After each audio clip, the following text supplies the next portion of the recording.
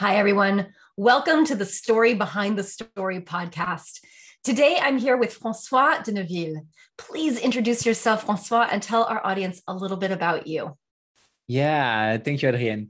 Uh, hi, everyone. My name is Francois. I'm from Belgium, and uh, I'm a former commando paratroopers. I'm a husband. I'm an adventurer. I'm an entrepreneur, and I'm a tsunami survivor as well.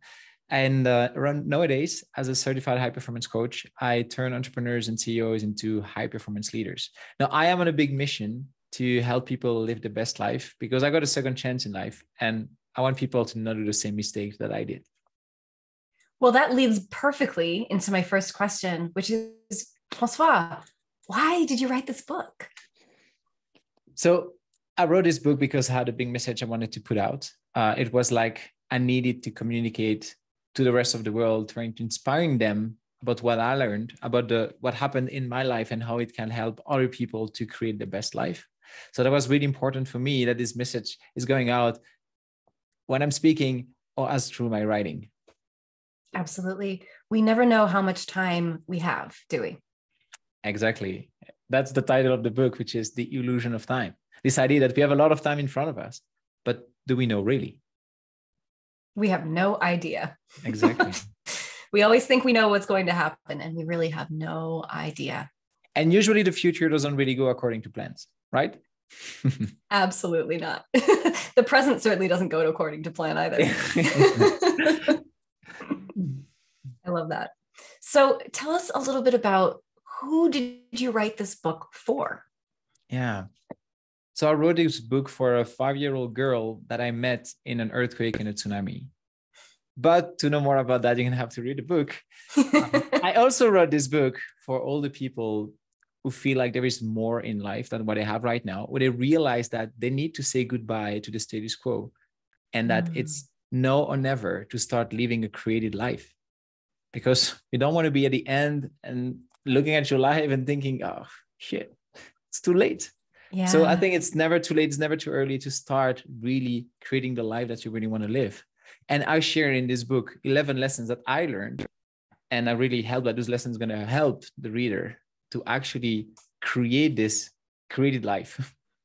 Yeah, tell us more about that created life. What does it mean to yeah. live a created life?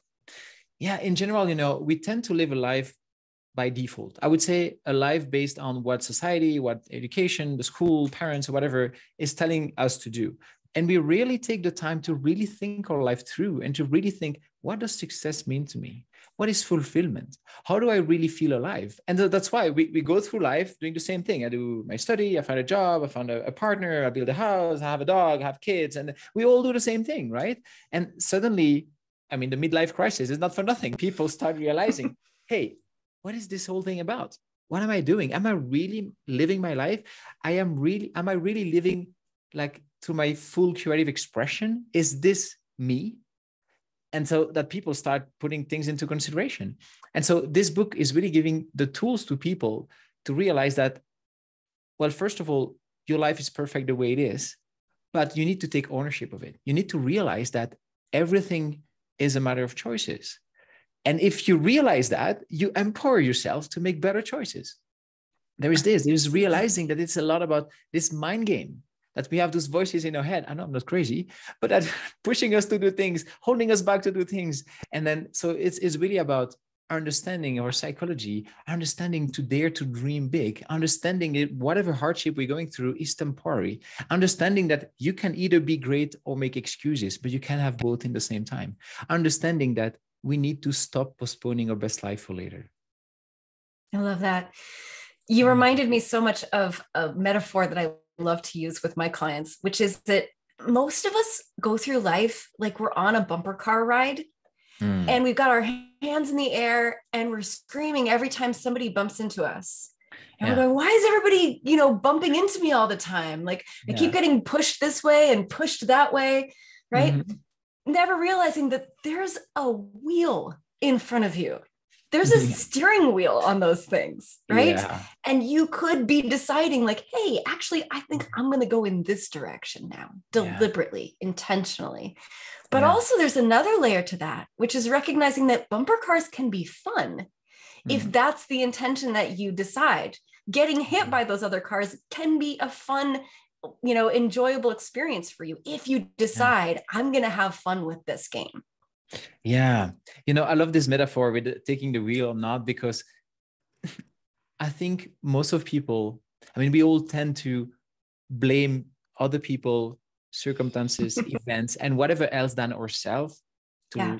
for the life that we have and the moment it takes courage to say hey i'm i'm the one behind the wheel it takes a lot of courage but the moment you do that exactly as you said you can start steering in the direction you really want to go. And you realize instead of feeling this victim of life like having life happening to you you really start having life happening for you because you realize oh my gosh i can really go the way i want to go. And it's not always going to go perfectly but that's life right? As you said sometimes you want the bumps having being fully alive is experiencing this full spectrum of experience. Like it's great it's difficult it's challenging it's scary it's exciting. It's it's it's everything that makes us feel alive.